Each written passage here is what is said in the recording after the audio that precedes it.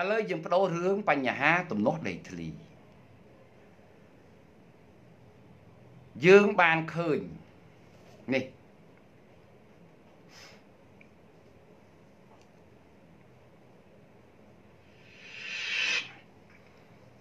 ក្នុងពេលយប់មិញនេះ ពីម្សិលមិញយើងបាននិយាយហើយថាមានពួកក្រុមបាតុកម្មឡើងមកធ្វើកិច្ចការនៅទីក្រុងភ្នំពេញហ្នឹង តូចតាចទេពេលថ្ងៃតែស្រាប់តែយប់ឡើងកដាទៀតបងប្អូនមករាប់រយអ្នកទៀតណាផ្អើលបងផ្អើលឥឡូវហ្នឹងនេះគឺជាខ្ញុំហ៊ានអះអាងនេះគឺជាផែនការអុចអាលរបស់ពួកសង្គមស៊ីវិលមួយចំនួនក៏ដូចជា ការអុចអាលរបស់ពពួកខ្មែរវង្វេងជាតិដែលគ្រប់គ្រងសំណាងស៊ីមួយចំនួន ដែលកំពុងតែនៅក្នុងស្រុកញុះញង់ពីព្រោះលោកសំរងស៊ីគាត់បានអំពាវនាវឲ្យងើបឡើងបះបោបងប្អូនមានចាំអត់សូមសួរបងប្អូនតើបងប្អូនមានចាំថាអាមសៀសំរងស៊ីពិតប្រកាសជាមានអំពាវនាវ ឲ្យប្រជាពលរដ្ឋខ្មែររួមទាំងកងកម្លាំងប្រដាប់អាវុធងើបឡើងធ្វើការបះបោដែលអង្គប្រឹកប្រាជ្ញរបស់យើងបានលើកកាលពី2ថ្ងៃមុននេះមែនឬមួយក៏មិនមែនឥឡូវនេះគឺគាត់ចាប់ផ្ដើមបះបោហើយតែតាមរូបភាពដូចយើងត្រែងតពូលចឹងវាអត់មានរឿងអីបះបោអីបើឲ្យទៅអុចអាលកម្មករទៅលេរួចហើយ ព្រោះកម្មករឥឡូវនេះធ្លុងតែមួយគឺដើរតាមលោកនាយករដ្ឋមន្ត្រីហ៊ុនសែនបាត់ហើយចូលទៅញុះញង់កម្មករគឺដឹងតែចូលអត់ចុះហើយ100%អញ្ចឹងមានតែធ្វើម៉េចដឹកប្រជាពលរដ្ឋនៅតាមមូលដ្ឋាន តាមខេត្តចង្កាត់មាត់ញោមដើម្បីឲ្យងើបឡើងធ្វើការបះបោហើយគេអត់បះបោនៅកន្លែងទីតាំងគេហ្នឹងឯងគេរៀបផែនការគេគឺឡើងមកភ្នំពេញ គេចាយលុយដឹកជញ្ជូនប្រដាក់គ្នាដូចខ្យងអញ្ចឹងបងប្អូនឥឡូវបងប្អូនស្ដាប់ព័ត៌មាននេះប្រជាពលរដ្ឋ មកពីខេត្តកំពង់ធំខេត្តត្បូងឃ្មុំខេត្តព្រះសីហនុនិងខេត្តផ្សេងផ្សេងទៀតបាននាំគ្នាមកប្រមូលផ្ដុំគ្នានៅមុខកម្ពុជាណាទាំងកណ្ដាលទ្រាចូលថ្ងៃទី6ខែវិច្ឆិកានេះស្ថិតតាមបណ្ដាផ្លូវព្រះស៊ីសវត្តក្នុងសង្កាត់ចតុមុខខណ្ឌដូនពេញហើយត្រូវបានលោកអភិបាលខណ្ឌដូនពេញដឹកយកទៅទីលានប្រជាធិបតេយ្យដើម្បីពួកគាត់សម្រាកតាមប្រភពពីសមត្ថកិច្ចខណ្ឌដូនពេញបានដឹងថាប្រជាពលរដ្ឋខាងលើមានប្រមាណជាជិត200គ្រួសារបានជិះរថយន្តឈ្នួលមកជាច្រើនគ្រឿងមកប្រមូលផ្ដុំគ្នានៅមុខកម្ពុជាណាក្បែរនឹងរង្វង់មូលសម្ដេចជួនណាធ្វើឲ្យភ្ញាក់ផ្អើលដល់អ្នកធ្វើដំណើរនិងកម្លាំងសមត្ថកិច្ចនិងកងរាជវុធហត្ថខណ្ឌដូនពេញចុះមកកន្លែងកាត់ហេតុសួរនាំប្រជាពលរដ្ឋប្រាប់ថាមានបញ្ហាដីធ្លីដែលប៉ះពាល់ជាមួយនឹងក្រុមហ៊ុនមួយទើបមកសុំឲ្យសម្ដេចហ៊ុនសែនជួយរកយុត្តិធម៌ជូនពួកគាត់ទាំងយកបែបនេះបន្ទាប់មកលោកសុកពេញវត្តអភិបាលខណ្ឌដូនពេញបានបញ្ជូនពួកគាត់ឲ្យនៅសម្រាប់ឯទីលានប្រជាធិបតេយ្យថ្មីដើម្បីរងចាំថ្ងៃស្អែករកដំណោះស្រាយបន្តទៀតនេះខ្ញុំហៃសូពីពីកម្មវិធី60បឃើញវាចង្រៃអញ្ចឹងអត់យីអាមសៀសំទាំងស៊ីនេះវាចង្រៃអត់អាចមើលស្រាលអត់អាចមើលស្រាលវាបានទេ បណ្ដាញរបស់វា គឺនៅពីពេញផ្ទៃប្រទេសទាំងឡើយឯងបណ្ដាញពួកសង្គ្រោះជាតិដៃជើងរបស់សំនឹងស៊ីមិនទាន់មិនទាន់ងាប់អស់ឯណាកុំភ្លេចណាបងប្អូនណានៅកន្លះលានអ្នកគូសស្លឹកឆ្នោតចោលហឹមចឹងគួសមដែរខ្ញុំគិតតែគួសមដែរហើយពួកនឹងហើយ ដែលបង្កចលាចលក្នុងប្រទេសយើង ក្រោមរូបភាពយកលេសថា មានគេរំលោភយកដីធ្លីរបស់គាត់ក្រុមហ៊ុននេះក្រុមហ៊ុននោះបងប្អូនមើលគេនិយាយមិញមកម្ដង3ខេត្តមកតាំងពីកោះកុងពុងសោមមកតាំងពីកំពង់ធំមកតាំងពីអរិញណែណែអឺមេមុត អាស្អីអរិញត្បូងឃ្មុំមកមូលជុំគ្នានៅមុខកបោយណាក្នុងពេលតែមួយបងប្អូនគិតទៅដឹងអញ្ចឹងបានន័យថាគេរៀបចំជាប្រព័ន្ធរបស់គេ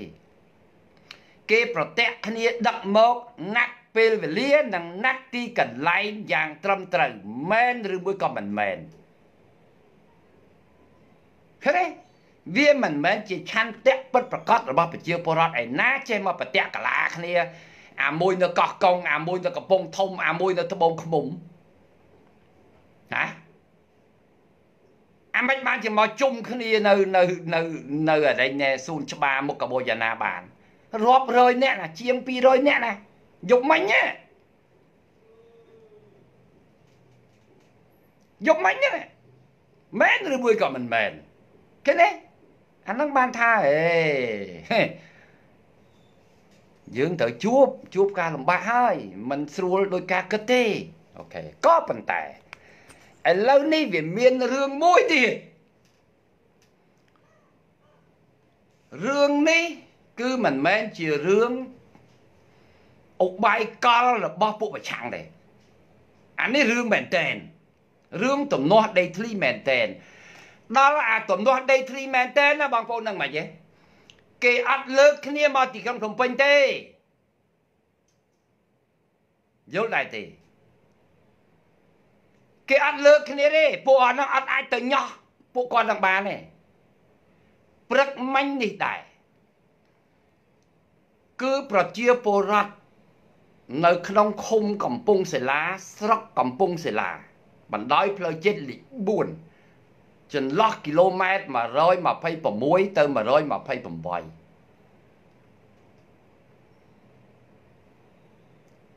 បាននាំគ្នាទៅតវ៉ារឿងបញ្ហាដីធ្លីរបស់គាត់នឹងនៅសាលាឃុំតែម្ដងណែបងប្អូនយល់ទេអាហ្នឹងគឺមានការបំពេញពីតុលាការខ្ញុំប្រើពាក្យអញ្ចឹងបង តុលាការឡើងតាំងពីតុលាការខេត្តសាលាដំបងសាលាអូតូរហូតដល់កំពូលហើយប៉ះពាល់មិនមែនចេះតិចបងប្អូនអើយរាប់ពាន់ហិកតាឯណោះតែឥឡូវនេះវាផ្ទុះទៅតែរឿង450ហិកតាទេជាប់បណ្ដោយផ្លូវមានបងប្អូនណាដឹងបញ្ហាហ្នឹងអត់ជាប់ផ្លូវជាតិលេខ4ហ្នឹងតែម្ដងហើយកន្លែងដែលទំនាស់ហ្នឹងបងប្អូននឹងបាច់ទេ សូម្បីតែសាលាស្រុកហ្នឹងណាក៏ជាប់ប្លង់របស់គេដែររឿងវាចែកចង់ជម្រាបបងប្អូនចារឿងវាចែកខ្ញុំដឹងរឿងនឹងច្បាស់ពីព្រោះខ្ញុំក៏មានដីនៅម្ដុំនឹងដែរអញ្ចឹងខ្ញុំដឹងរឿងហ្នឹងរឿងនេះ គឺវាកើតឡើងក្នុងអំឡុងឆ្នាំ1993រិជ្ជកាលអាមសៀសំរងស៊ីមកធ្វើរដ្ឋមន្ត្រីក្រសួងហិរញ្ញវត្ថុរិជ្ជកាលពួកអាដែងមកពីស្រុកប្រាំងមកត្រួតត្រាស្រុកខ្មែរបងប្អូនចាំអត់បើបងប្អូនចាំគាត់តែខមមិនថា1993រឿងហ្នឹង ពេលនោះសម្ដេចកុម្ពះគាត់បានទំនាក់ទំនងជាមួយនឹងពួកចិនតៃវ៉ាន់សម្ដេចកុម្ពះអត់តាក់ទងទៅជាមួយនឹងចិនដៃគោគេគឺគាត់ទំនាក់ទំនងស្អិតរមួតជាមួយនឹងពួកចិនតៃវ៉ាន់ចឹងហើយពួកចិនតៃវ៉ាន់ទាំងអស់នោះបានទៅស៊ីសុះគ្នា ជាមួយនឹងរដ្ឋអំណាច ស្រុកស្រែអំបិលកាលនោះនៅកន្លែងតំបន់នោះតំបន់ទំនាស់ដែលយើងលើកឡើងស្រុកកំពង់សាលាហ្នឹងណាគឺវាស្ថិតនៅក្នុងស្រុកស្រែអំបិលខេត្តកោះកុងឯនោះទេរឿងហ្នឹងវាតាំងពី93មកក្រោយមកទៀតមកក៏កាត់ស្រុកស្រែអំបិលណាស្រុកអរិញណែណែណែកាត់អាស្រុកកំពង់សាលាហ្នឹងឲ្យចូលមកក្នុងអខេត្ត ប្រសិទ្ធនុវិញណាសារបានវាមានរឿងអញ្ចឹងអញ្ចឹងរឿងហ្នឹងវាតាំងពី1993មកពួកចិនទាំងអស់នោះបងប្អូនដឹងហ៎វារៀបវារៀបវារៀបដីណាគឺវាយកអមសងខាងផ្លូវជាតិលេខ4បងប្អូនតាំងពីតាំងពីបាទដុំអដែងស្ពានស្ទឹងសំរងណា ទៅទល់គ្នានឹងផ្លូវម៉ៃ47វាយកសងខាងផ្លូវនឹងទាំងអស់វាធ្វើប្លង់ប្លង់រឹងខ្ទេចទាំងអស់ប្លង់រឹងខ្ទេចទាំងអស់បងប្អូនគិតមើលមើលហឹមហើយសងអមសងខាងផ្លូវ500ម៉ែត្រពីផ្លូវជាតិវាយកទាំងអស់ពួកចិនមិនមែនចិនសម័យឥឡូវទេណាចិន93 ឥឡូវបងប្អូនសូមស្ដាប់សូមស្ដាប់តិចសិនអើយតាយាវអើយបោះស្អីគេចេះតាយាវអត់មកចូលមើលសូទេអីបោះស្អីណាទិញតុងទិញតុងមានពេលណាទៅមើលអាហ្នឹងនេះបងប្អូនតាមស្ដាប់ហ៎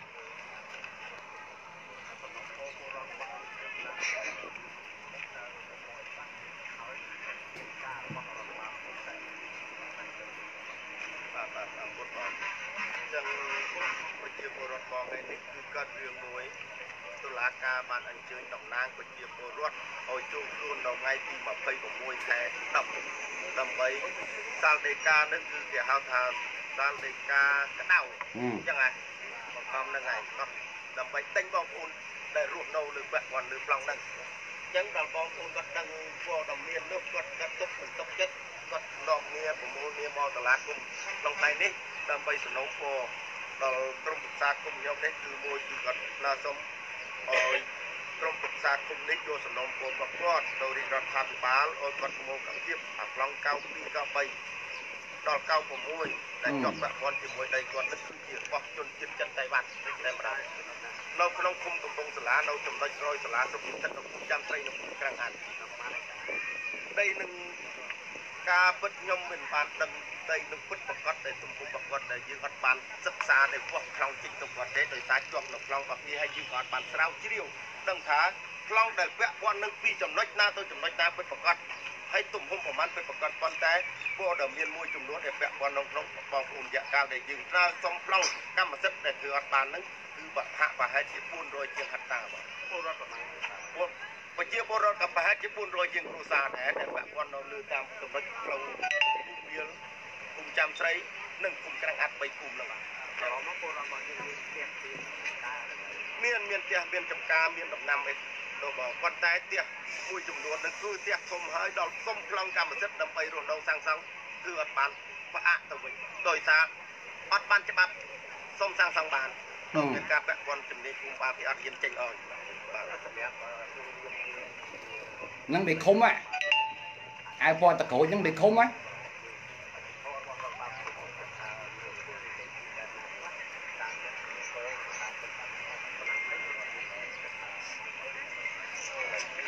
ក្រុមប្រឹក្សាគុំខ្ញុំនេះការយល់ដឹងវាដូចមានកម្រិតដែរប៉ុន្តែសំណុំពររបស់បងប្អូននឹងពួកខ្ញុំនឹង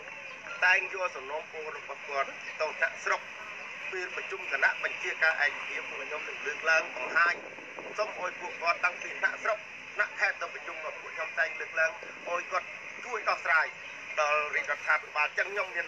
នោះមួយដែរមិនមិននេះពួកខ្ញុំតាមសំណុំពររបស់គាត់ដែលមុនបោះដោតពួកខ្ញុំជាក្រុមប្រឹក្សាគុំបានសន្យាជាមួយគាត់ប្រឹងប្រែងដែលជួយដោះស្រាយឲ្យគាត់នឹងគឺមាន បានធ្វើទៅរហូតទៅដល់ថ្នាក់ខេត្តហើយសំណូមពរទៅក្រសួងបាទអូដល់ស្ទឹងឆាយឯណោះត្រីមានឯកសារមួយដែលថ្នាក់ខេត្តគាត់បានឯកភាពជាមួយយើងបានវាយមែនដល់ស្ទឹងឆាយហ៎បងសូមបងមើលសូមឲ្យបងប្អូនមើលមើលផងគឺពួកយើងមិនមែនផ្លូវ8សេនបាល់ទេគឺទឹកគូខ្លាំងណាស់រហូតតែធ្វើ តាំងពីថ្នាក់ឃុំទៅសម្ដៅប្រព័ន្ធនេះបងថតមើលទៅអូថតថតមើលទៅបាទណាបងប្អូនមើលលោកហ៊ុនសែននេះបងប្អូនមើលទាំងអស់គាត់បង្ហាញឯកសារបន្តិចខ្ញុំបង្ហាញឯកសារជូនបងប្អូនមើលបានហួសចិត្តណាមមេដៃតំណាងរបស់គាត់នឹងមេភូមិដែលមានមេភូមិចុះហត្ថលេខាតំណាងរបស់គាត់ភូមិបងយាវបោះនៅ Telegram មកបងយាវដល់អបាលខេត្តជួនមាននឹងក៏បានគ្រប់គ្រងពួកយើងដើម្បីឲ្យយើងយកឯកសារនេះទៅក្រសួងដែនដីនិងទៅ ដាច់នាយករដ្ឋមន្ត្រីដើម្បីសូមជួយអន្តរាគមន៍ដល់ពួកគាត់នឹងគឺពួកយើងបានខិតខំធ្វើតាមសំណុំពរគាត់ហើយតែការងារទាំងអស់នេះវាមិនបានសម្រេចដូចសំណុំពររបស់គាត់ព្រាមព្រាមនោះទេអញ្ចឹងថ្ងៃនេះគាត់មានការបារម្ភខ្លាំងដោយសាលដីការបស់តុលាការចេញថ្មីមួយទៀតទើបគាត់នាំគ្នាមកនេះរយៈកាលមកបងប្អូនគាត់មកដែរ4 10 20នាក់4 10 20នាក់ក្រុមប្រឹក្សាគុំយើងសំណុំពួកឲ្យគាត់ឆ្លងហាត់ ទុកឲ្យយើងតំណាងប្រកបនឹងជួយដោះស្រាយជូនគាត់គាត់ទៅខាត់យើងយកកម្មមកចាស់គាត់បានបានខ្ញុំអឺបងចាក់តិចអ្វីដែលលោកនេះតំណាងជាពលរដ្ឋហ៎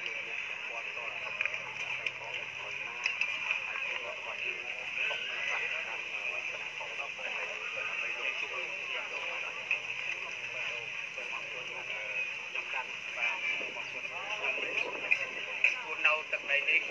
ជាង25ឆ្នាំហើយនេះគឺជាទឹកដីដែលយើងខ្ញុំរស់នៅដែលមិនមានអឺគឺឋានអ្នកណាមកតវ៉ាពីរឿងអីអត់ទេបាទអត់មានអន្តរាយទេអឺបាទតែសំណូមពររបស់ខ្ញុំគឺសូមឲ្យមេលោកមេគុំនិងអាជ្ញាធរគ្រប់បណ្ដាប់ដាក់មួយមកភាពនៅ បានកម្មសិទ្ធិ92 93 96នេះជាស្ថាពរហើយនឹងសំណូមពរមួយទៀតគឺសូមឲ្យ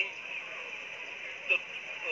បានទទួលនៅបានកម្មសិទ្ធិស្របច្បាប់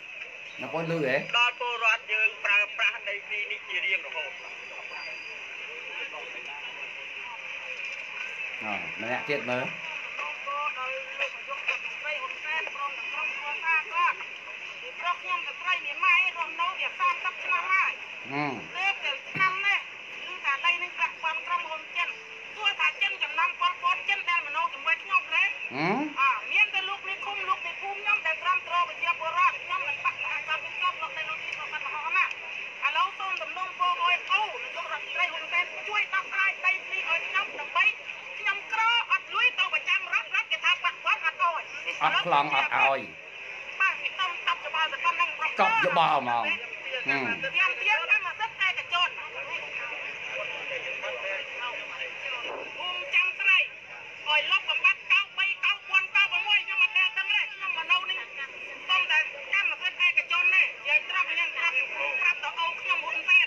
ជួយខ្ញុំដល់បកបកាអាណាបាក់ណាបាក់ណាខ្ញុំមិនអោយចូលចូលទាំងពួចឥឡូវលោកចាប់ឲ្យជួយដល់ស្រ័យខ្ញុំផងណាខ្ញុំមិនលោកមកប៉ុណ្ណឹងទេ បានណាបានទេមកបាទ បាទខ្ញុំចា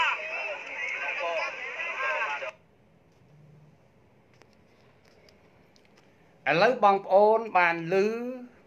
សំណុំពររបស់ប្រជាពលរដ្ឋអានេះទើបគេហៅថាគាត់មានទំនាស់ដីធ្លីពិតប្រកបមែនពេលណាប្រជាពលរដ្ឋដែលរងផលប៉ះពាល់ពីការគៀបសង្កត់ពីការរំលោភលើទឹកដីរបស់គាត់លំនៅឋានរបស់គាត់ពិតប្រកបបងប្អូនឃើញទេ គេអត់នាំគ្នាឡើងមកទីក្រុងភ្នំពេញទេនេះមួយពីរខ្ញុំក៏លេខឃើញមិញឃើញមានអាអូនមួយវាខមមិនថាអាតាសវណ្ណសំរាំងស៊ីមិនមែនកាន់ក្រសួងដែនដីនគររូបនីយកម្មទេគាត់កាន់ក្រសួងហិរញ្ញវត្ថុត្រឹមត្រូវអាអូនអញអត់បាននិយាយថាសំរាំងស៊ីទៅសញ្ញេប្លង់ដីនឹងទេ តែអញចង់និយាយថាចំនួននោះដែលអង្គប្រុកប្រាជ្ញរបស់យើងបាននិយាយថាពួកអាអាចុយមរាយសុកប្រាំងអស់ហ្នឹងវាមកគ្រប់គ្រងនគរខ្មែរចំនួនអាមសៀសំរាំងស៊ីគឺវាបាននាំយកមកនៅជំងឺពុករលួយ ដែលប្រទេសកម្ពុជាយើងមុន1993គឺអត់មានបញ្ហាហ្នឹងទេ តលទៅពេលដែលពួកអាដែងហ៊ុនជាបាច់ពួកអាដែងមកពីស្រុកប្រាំងអស់នឹងវាមកកាន់កាប់វាមកធ្វើជាបងធំនៅស្រុកខ្មែរវាចងកវ៉ាត់កអាខ្លះធ្វើចវាយខេតអាខ្លះធ្វើចវាយក្រុងមិនមែនអត់បងប្អូនមានចាំទេចំនួនហ៊ុនសិបាច់ចាពួកហ៊ុនសិបាច់គ្រប់គ្រងចវាយខេតចវាយក្រុងគ្រប់គ្រងក្រសួងមន្ទីរជាងពាក់កណ្ដាល បានពំនាំយកមកនៅវត្តបធរពុករលួយ ដែលកម្ពុជាយើងមិនធ្លាប់មានបងប្អូនឯកភាពចឹងអត់មើលពួកឯងក្មេងៗឯងកើតអត់តឯងអត់ដឹងហើយសួរចាស់ចាស់ហ่ะចាស់ចាស់ដែលកំពុងតែអង្គុយមើលអង្គព្រឹកប្រាជ្ញរបស់យើងមុនឆ្នាំ1993ចំនួនរដ្ឋកម្ពុជា ប្រទេសកម្ពុជាណាអញប្រាប់ឯងអំពើពុករលួយស្ទើរតែមើលមិនឃើញអញប្រាប់ គឺល្អសិតតែជាកម្មាភិបាលល្អបំរើប្រជាពលរដ្ឋល្អឯងយល់ទេអញចង់និយាយអញ្ចឹងបងប្អូនបើឯកភាពសុំខមមិនម្នាក់មួយមកថាអូខេឯកភាពរឿងហ្នឹងគឺវាអញ្ចឹងមែនអញមិនមែនចង់និយាយបុគ្គលសំនឹងស៊ីអញនិយាយថាចំនួននោះចំនួនពួកអាសុភរាំងមកគ្រប់គ្រងនគរខ្មែរដង្ហែតាមស្ដេចកំប្រាំងមកសិតតែពួកសុភរាំងទាំងអស់អញប្រាប់ហើយច្បាស់ យល់ទេឯពួកដែលតស៊ូនៅជំរុំបានត្រឹមតែមកធ្វើកិច្ចការកងទ័ពទេតែពួកមកប្រសុកប្រាំងកាន់កិច្ចការស៊ីវិលទាំងអស់អាពួកនោះមកដល់គឺថាបូមយកបូមយកប្រើប្រាស់គុណវិធីហើយនេះអារឿងក្តីនេះគឺវាសល់ពីនោះមកហើយយល់ទេអញចង់និយាយអញ្ចឹងណាតាំងពី1993មកទល់នឹងឆ្នាំ2018បងប្អូនបោកបោកលេខមើលទៅប្រហែលឆ្នាំហើយ ជួយដកលេខឲ្យខ្ញុំបន្តិចបោះខ្ញុំរវល់យករកឯកសារខ្លះដើម្បីបញ្ជាក់ឲ្យបងប្អូនបន្តិចនេះខ្ញុំចង់បង្ហាញប្លង់ដីមួយប្លង់ដីមួយក្នុងចំណោមរាប់រយប្លង់ទៀតណាដើម្បីឲ្យបងប្អូនបានមើលប្លង់ហ្នឹងគឺគេហៅថាប្លង់ស្លាប់មាត់ ចេញចំនួននោះឲ្យទៅជនជាតិចិនហ្មងគេអត់ដាក់សញ្ជាតិខ្មែរដាក់សញ្ជាតិចិនហ្មងនេះសូមមើលនេះ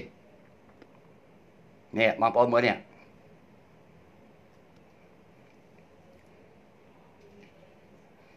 បងប្អូនមានមានឃើញគេសរសេរដាក់ថាជនជាតិចិនទេនេះ នេះលាវតាំងម៉ៅភេទប្រុសអាយុ66សញ្ជាតិចិនឃើញហើយនៅបងប្អូនបានមើលឃើញនៅណែប្លង់ណា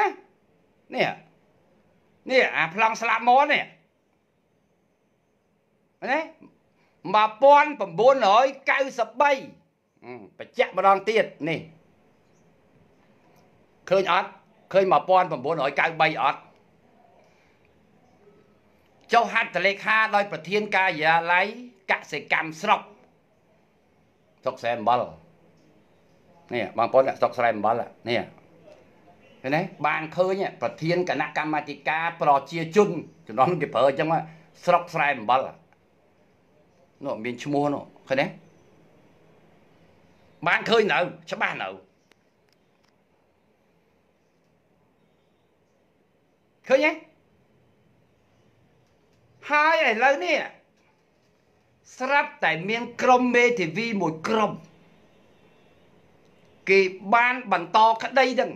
តាំងពី95 96គេប្តឹងឡើងតុលាការបាទគេប្តឹងឡើងតុលាការ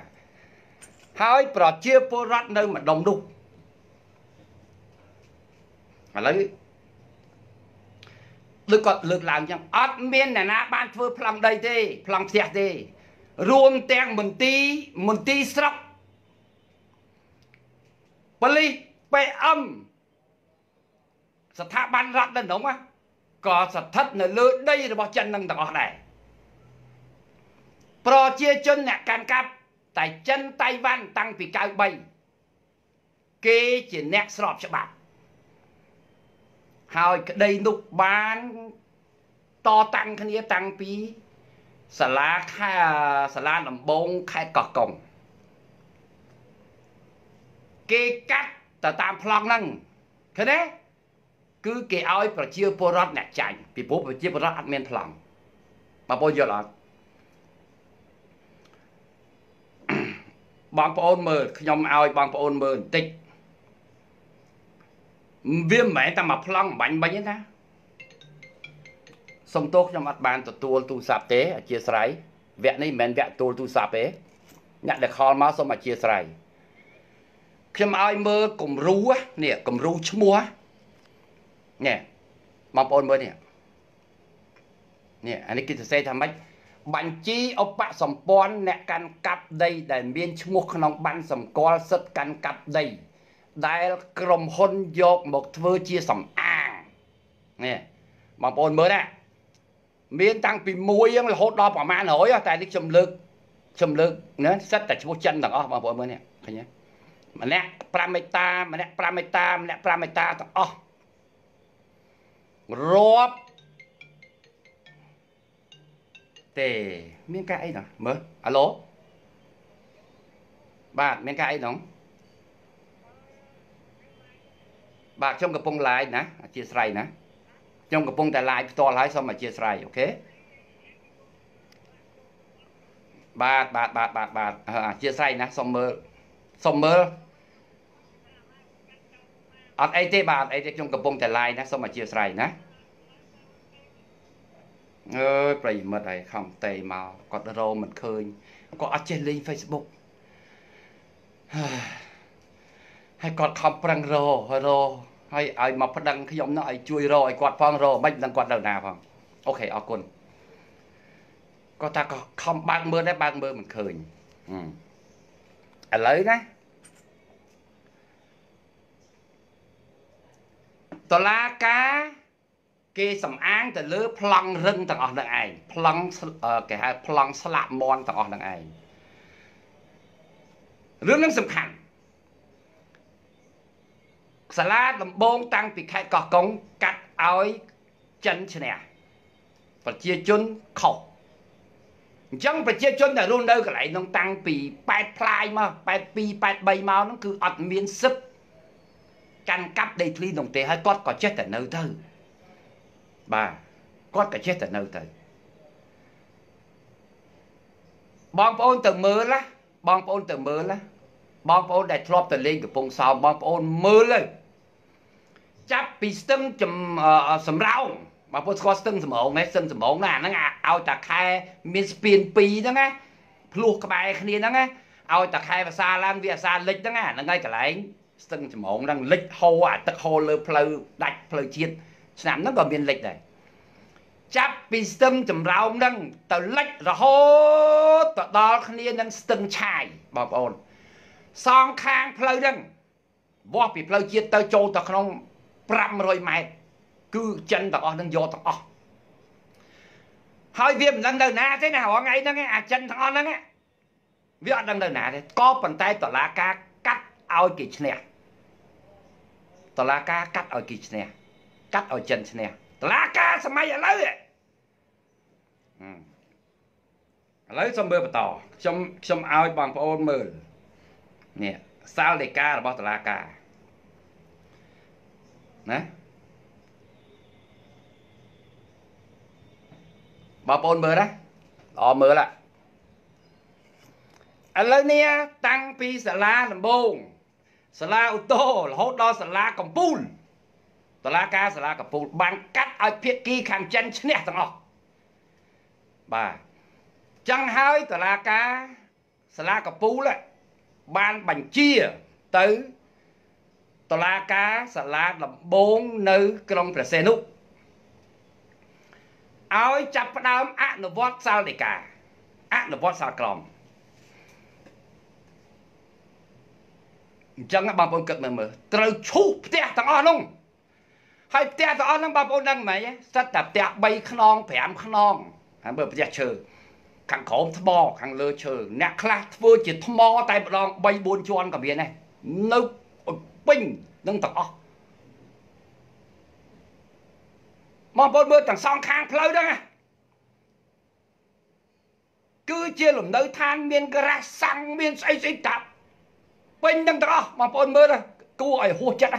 ខ្ញុំក៏មិនដឹងថាតើរដ្ឋមន្ត្រីក្រសួងយុតិធម៌ហើយនឹងតឡាការគ្រប់ជាន់ថ្នាក់ទាំងអស់ហេតុអីបានជាលោកលោកមិនព្រមចុះទៅមើលឲ្យផ្ទាល់លោកកាត់ក្តីទៅលើកណ្ដាស់ណែអាកាត់ក្តីទៅលើឯកសារហ្នឹងណាខ្ញុំយល់ច្បាប់គេនិយាយមកគេថាប្លង់រឹងគឺប្លង់រឹងហើយ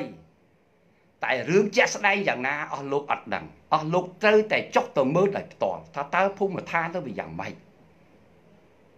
តឡាការឥឡូវកាត់ឲ្យចិនសួរថាបើសិនជាបើសិនជាខ្ញុំឡើងតក្តីខ្ញុំឲ្យរកគ្រប់ប្លង់ទាំងអស់ឲ្យរកម្ចាស់មកហើយយកអតសញ្ញាណបានណៃមកឡើងបើខ្ញុំធ្វើជាមេធាវី ឲ្យបងប្អូនប្រជាពលរដ្ឋទាំងអស់ខ្ញុំឡើងតក្តីនេះឡើងទៅដល់ឧត្តមក្រុមប្រឹក្សានៃអង្គចៅក្រមទៀតហើយខ្ញុំចង្អុលមុខទៅតុលាការទាំងអស់ដែលកាត់ក្តីរឿងនេះឲ្យប្រជាពលរដ្ឋចាញ់អូខេយើងលេងគ្នាផ្លូវច្បាប់អាហ្នឹងយើងនិយាយរឿងបញ្ញាផ្នែកច្បាប់ខ្ញុំត្រូវការជួបឲ្យមេធាវី ត្រូវការឲ្យរកមនុស្សដែលមានឈ្មោះដូចរាយមាញ់មាញ់រាប់រយប្លង់ណារាប់ពាន់ឈ្មោះសិតតែឈ្មោះចិនសិតតែឈ្មោះចិនទាំងអស់ឲ្យឯងឡើងបោះតើឯងជាម្ចាស់នឹងមែនឬមួយក៏មិនមែនបើអ្នកឯងរកមិនបានទេ គឺមេធាវីហ្នឹងមានបញ្ហាចាក់អាមេធាវីនឹងរត់គុកអ្នកណាជាអ្នកពឹងពោលោកឯង អីអាហ្នឹងយើងអាចស្ដៅសុំបានតាយើងចង់ដឹងការពិតថាតើចិនហ្នឹងវាមានមែនអត់តាំងពី93មកបងប្អូនណានឹងបើចង់រកយុទ្ធធរតាមផ្លូវច្បាប់នេះបងប្អូនមើលដីកានេះនេះសំណុំរឿងក្តីលេខ3ណោះចុះថ្ងៃទីប៉ុនេះប៉ុនេះម្ចាស់បំណុលនៃការអនុវត្តក្រុមហ៊ុនលៀនអូលៀនហ្វាវូជីន កូនបំណុលនៃអនុវត្តអីណាឈ្មោះចឹងទៅណានេះហើយឲ្យឲ្យគ្នានឹងចូលខ្លួននេះបងប្អូនមើលនេះណាឲ្យគ្នាចូលខ្លួននេះបងប្អូនមើលនេះនេះនេះនេះទឹមទទួលថ្ងៃ20ខែតុលាឆ្នាំ2018នេះនេះនេះបងប្អូនឃើញហើយនេះនេះឆ្នាំ2018ឥឡូវឥឡូវហ្នឹង នេះចៅក្រមទទួលបន្ទុកគួងចិន្តាឃើញទេ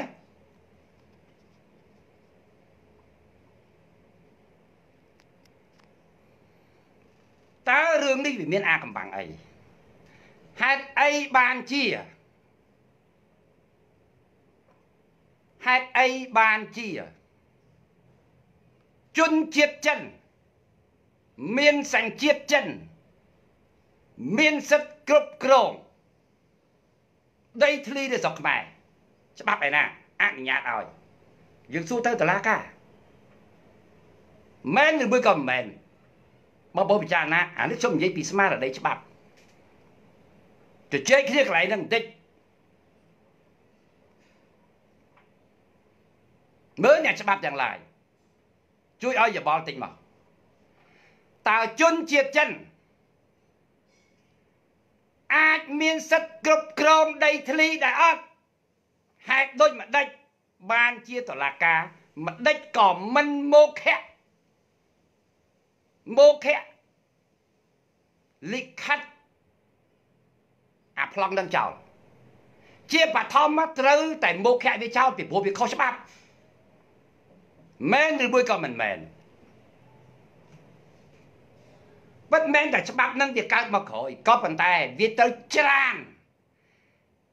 ច្រានអាវ័យដែលជាខ្ទាស់ជាមួយនឹងអាច្បាប់ថ្មីនេះដែលហាមមិនឲ្យដែលហាមហាមជនជាតិចិនជនជាតិបរទេសមិនអនុញ្ញាតឲ្យមានសិទ្ធិគ្រប់គ្រងផ្ទះឬមួយក៏ដីធ្លីទៅជន់តដីចាប់ពីជន់ទី1ទៅមែនឬមួយក៏មិនមែនអាហ្នឹងនិយាយពីផ្លូវច្បាប់អានេះខ្ញុំនិយាយពីផ្លូវច្បាប់ ហេតុអីតឡាការបែរជាទៅទទួលស្គាល់បានដែលខុសច្បាប់អញ្ចឹងបានស្លាប់មន់នោះគឺជាបានខុសច្បាប់ខ្ញុំហ៊ាននិយាយអញ្ចឹងមិនមែនអះអាងទេគឺនិយាយអញ្ចឹងហ្មងចំពោះច្បាប់បច្ចុប្បន្នណែឯងចុះថ្ងៃ93ខែ93ឆ្នាំ1993អញ្ចឹងអាច្បាប់ទៅចេញមក2000ផ្លាយនេះត្រូវតែលុបចោលអា អ្វីដែលមានកន្លងមកនោះវាខុសត្រូវតែទុកជាអាសាបងទាំងអស់ជាមុខៈទាំងអស់អ្វីដែលខ្ទាស់ជាមួយនឹងច្បាប់ថ្មីពីព្រោះអាច្បាប់ថ្មីនេះគេមានចែងមកអញ្ចឹងអ្វីដែលឃើញទេខ្ទាស់ជាមួយនឹងច្បាប់ថ្មីនេះត្រូវចាត់ទុកជាបោខៈមែនឬមួយក៏មិនមែន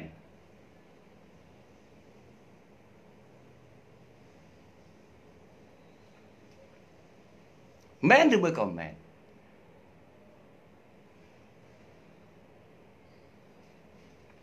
អត់មិនទៅសួរហ៊ីងមិនហៀងវិញអាមុននោះឲ្យឯងទៅសួរហ៊ីងមិនហៀងហ៊ីងមិនហៀងមេតបទៅសួរគាត់ឥឡូវនេះត្រូវសួរលោកអង្គវងវឌ្ឍនាដែលគាត់ជារដ្ឋមន្ត្រីក្រសួងយុតិធធម៌យល់ដែរទេ ពីព្រោះរឿងនេះឥឡូវនេះ វាមិនមែនជារឿងដែលប្រជាពលរដ្ឋត្រូវទៅទាស់គ្នាជាមួយចិនហ្នឹងទេត្រូវទាស់គ្នាជាមួយតឡាការ ឥឡូវហ្នឹងគេថាបើសិនជាមិនព្រមចូលខ្លួនទៅទេ គេនឹងអនុវត្តសាលក្រមក្តៅហើយបាទសូមអធិស្ឋានគ្រប់ទូរស័ព្ទទាំងអស់សូមកុំខលមកខ្ញុំមិនអាចទទួលបានឡើយ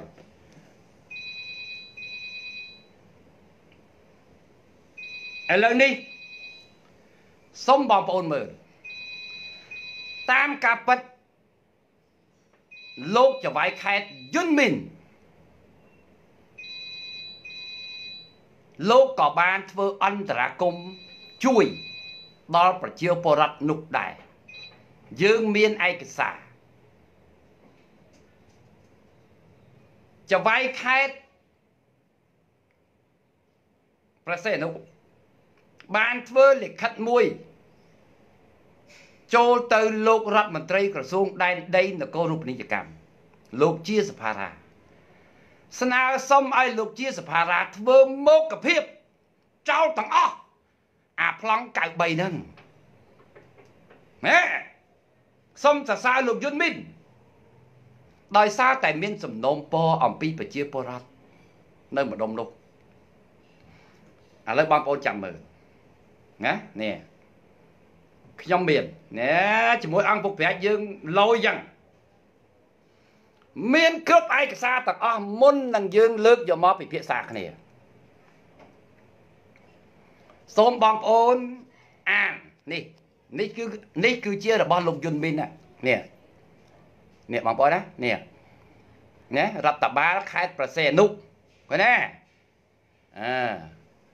ថ្ងៃប្រហែលណានេះឆ្នាំ2018ទេនេះនេះនេះឃើញណាបងប្អូនឃើញអត់ឃើញនៅនេះ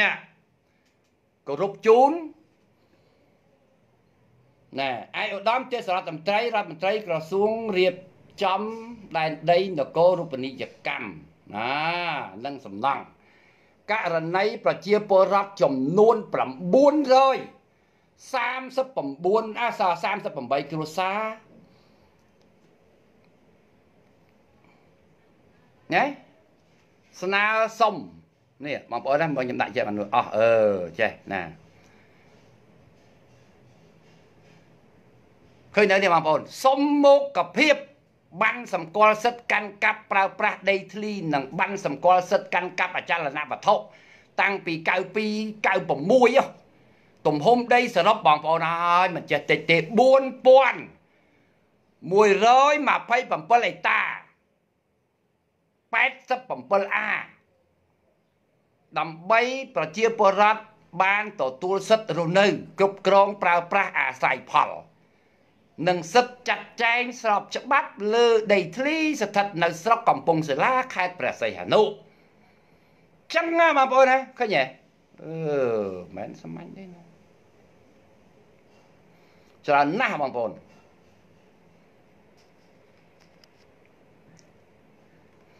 នឹងលោកច្បាយ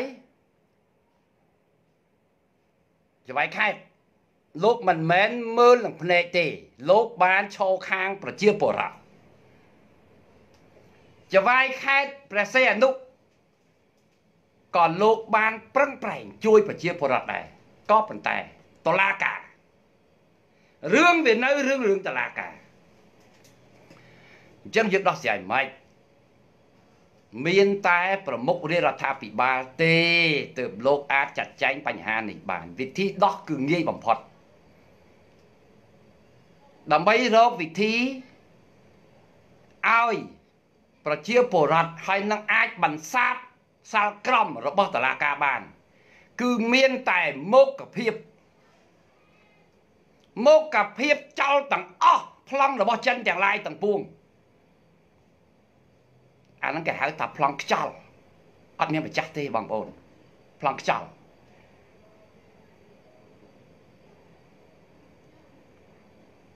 បងប្អូនយល់ទេឯកភាពចំណុចនេះអត់មុខភាពចោលសិនក្រោយពេលដែលក្រសួងដែនដីមុខភាពហើយអញ្ចឹង អាសាលក្រមរបស់សាលាតឡាការកពូលក៏វាត្រូវរលាយទៅតាមនឹងដែរមែនឬមួយក៏មែនយើងអាចធ្វើតាមវិធីនេះបានអត់សូមយោបល់បងប្អូនដែលចេះច្បាប់បន្តិចមកមានទេជួយបន្តិចមកណាខ្ញុំរៀងស្ទើរហ៎ អាចគ្រាន់តែជាការយល់ដឹងដោយសារខ្ញុំអត់បានមិនមែនជាបណ្ឌិតច្បាប់មិនមែនជាមេធាវីហើយក៏មិនមែនជាតុលាការគ្រាន់តែចេះដឹងបន្តិចបន្តួចពេលនេះសំខាន់ណាស់ខ្ញុំចង់ឲ្យអ្នកច្បាប់ជួយយោបល់បន្តិចមកខ្ញុំកំពុងតែតាមដានមើលខមមិន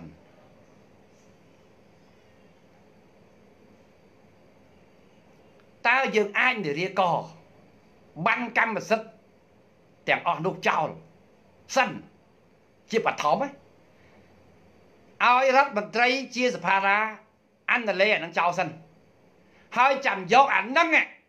យកទៅធ្វើជាបន្ទាល់សម្រាប់រំលាយអាសាលក្រមរបស់ហើយដល់អញ្ចឹងទៅតឡាការកពូលគាត់បានអានឹងយោងមកគាត់ចេញសាលក្រមមួយទៀតមករំលាយអាសាលក្រមចាស់ចោលបដ ாய் អញ្ចឹងប្រជាពលរដ្ឋលោកចាប់ផ្ដើមមានសិទ្ធិរស់នៅតាមធម្មតាប្រកដីឡើងវិញអានឹងជាយោបល់របស់ខ្ញុំទេតំណងដែរទេប៉ុណ្ណឹងធ្វើឬមួយក៏វាមានច្បាប់អីផ្សេងបាទអរគុណឥឡូវបានមួយខេក៏វាមួយខេឥឡូវលែងគិតរឿងមួយខេមួយខាងអីឥ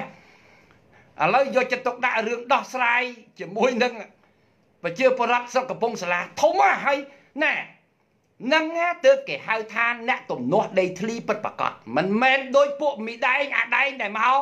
ដែលមកតវ៉ានៅភ្នំពេញអាពួកនេះសិតតែពួកស៊ីឈ្នួលធ្វើបាតកម្មទេរឿងមាននៅកន្លែងនេះវាតាក់ទងគ្នាអញ្ចឹងណាឥឡូវបងប្អូនប្រៀបប្រៀបធៀបរវាងទំនាស់ដីធ្លីពិតនិងអ្នកដែលមិនមានទំនាស់ដីធ្លីអាពួកសកម្មជនដីធ្លីពួកវាកោសភាពការបំរើនយោបាយ វានាំគ្នាឡើងមកទីក្រុងភ្នំពេញដើម្បីផ្គប់ចិត្តមីមួយស្អីអរិញណែ Smith នេះ Ronald Smith នេះឃើញទេដើម្បីឲ្យវាបានលេះវាថាអូ Ronald Smith ទៅនឹងមិនហ៊ានធ្វើអីយើងទេនាំមានឡើងមកមកឃើញទេបងប្អូនមានឃើញទេពីរហ្នឹងខុសគ្នាទេទទួលស្គាល់ថា ពួកសកម្មជនដីធ្លី ដែលឡើងមកតវ៉ានៅកណ្ដាលទីក្រុងភ្នំពេញហើយនឹងបងប្អូន ដែលជាអ្នកដែលមានទំនាស់ដីធ្លីពិតប្រាកដបងប្អូនមើលចរិតដោះស្រាយឃើញខុសគ្នាទេទទួលស្គាល់ឃើញតែខុសគ្នាអត់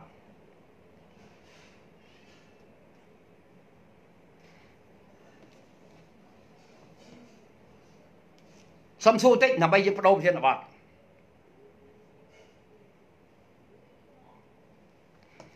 ហើយអាអ្នកដែលសញ្ញេប្លង់នឹងតាំងពី93មកឥឡូវឮថាទៅនៅកពតនៅអាខ្លះនៅកពតនៅតកែវអាមេសូយោដីចវាយស្រុកកាច់ចំណងកោះកុងហ្នឹងអាត្រែតអស់ហើយចាស់ចិត្តងាប់អស់ហើយនឹងគាត់ស៊ីលុយគេនឹងយកទៅចាយនឹងតាំងពី93មក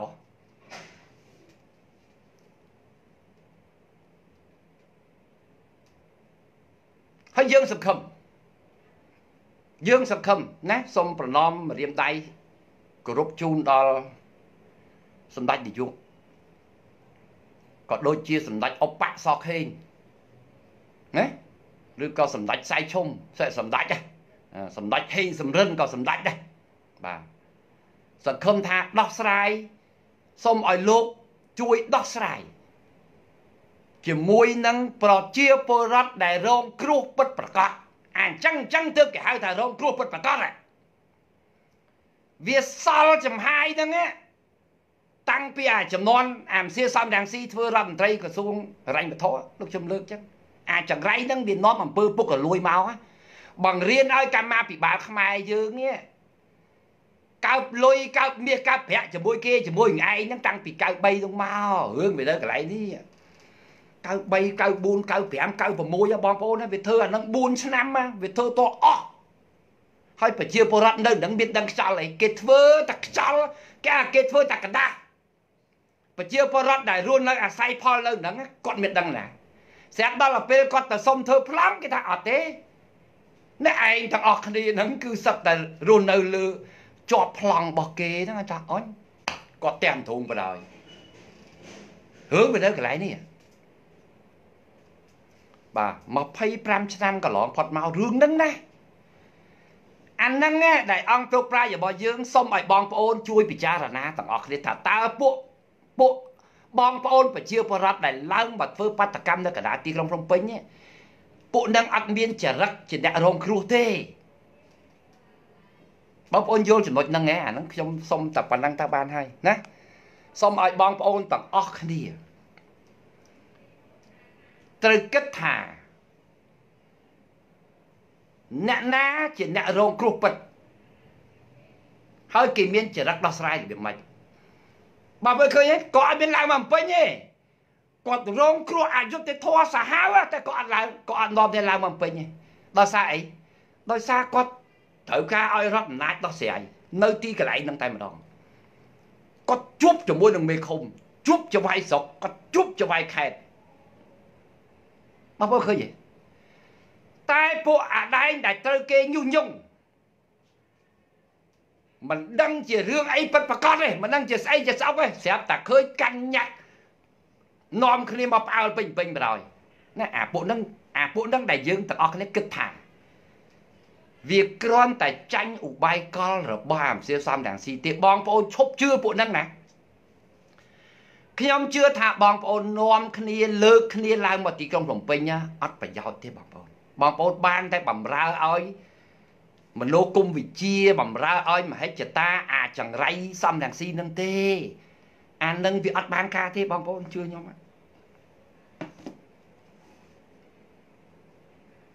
អូខេឥ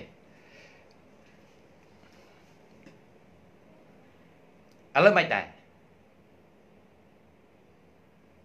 បងប្អូនឯកភាពតាមអ្វីដែលអង្គប្រប្រាជ្ញរបស់យើងលើកដែរឬទេ ចំពោះដំណោះស្រាយត្រូវតែដោះស្រាយបញ្ហានេះឲ្យប្រជាពលរដ្ឋមុខភាពអាចអាប្លង់93ហ្នឹង94 95 96អីហ្នឹងដែលមានទាំងបាបានកវត្តចោលអស់កុំទុកទៀតអសោះណាយើងស្នើសុំឲ្យរដ្ឋាភិបាលលោកមេតាពិនិត្យបញ្ហានេះអា តាមអ្វីដែលអង្គប្រប្រាយយើងលើកវិធីរបស់យើងហ្នឹងមិនដឹងជាវាត្រូវច្បាប់ដែរមានមានតម្លាភាពដែរឬមួយក៏គ្មានអាហ្នឹងមិនដឹងចិត្តតែលើកទៅទេបាទតែការពិតខ្ញុំជឿថាសម្ដេចលោកនឹងដោះស្រាយបញ្ហានេះបានគ្មានស្អីពិបាកដែរខ្ញុំគិតថាសម្ដេចលោកលោកមិនដែរថារឿងប៉ុណ្ណឹងប៉ុណ្ណឹងលោកដោះមិនចេញដោះចេញយ៉ាងផុយតែសំខាន់មកពីលោកអត់ព័ត៌មានអត់ដោះលោក ឥឡូវយោងតាម អង្គពុកប្រាជ្ញយើង សង្ឃឹមថាលោកនឹងនឹងទទួលយកបានហើយលោកប្រកាសជាមានចំណាត់ការសូមបងប្អូនណានៅតាមបណ្ដោយផ្លូវជាតិលី4សង្ឃឹម